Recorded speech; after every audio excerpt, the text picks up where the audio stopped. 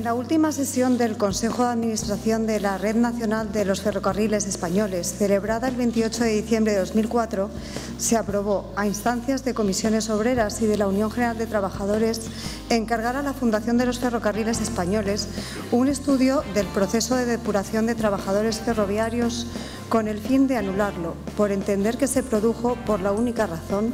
de que estos trabajadores fueron fieles al legítimo gobierno democrático y con el propósito de reponer la memoria y el honor de aquellos. Restablecer la dignidad que nos corresponde como un país democrático con aquellos que fueron represaliados simplemente por pensar distinto, uno se pregunta si después de 40 años uno se puede permitir 14 más. Porque la represión no solo supuso cárcel, muerte, exilio, sino sobre todo humillación una humillación persistente que obligaba a las víctimas a eh, refugiarse en el silencio. Y ese silencio es el que no podemos seguir tolerando ni amparando.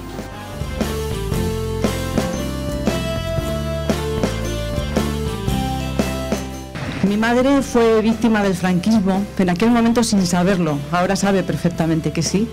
pero lo que os aseguro que sí que sabe es que fue la democracia y este régimen del 78 tan vapuleado ahora el que logró que ella recuperase su empleo y sus derechos perdidos durante, durante la dictadura. Te quitaban la libertad, después te quitaban el trabajo, te quitaban la vida. Cada vez que siento cuando hablan de se rompe España, a mí me da y me rompen el corazón porque veo venir otra vez, los veo venir otra vez.